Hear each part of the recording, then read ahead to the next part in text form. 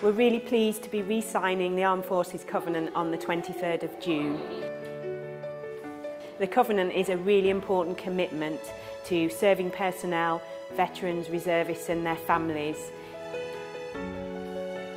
It's about ensuring that they don't face challenges or disadvantages in accessing services or employment.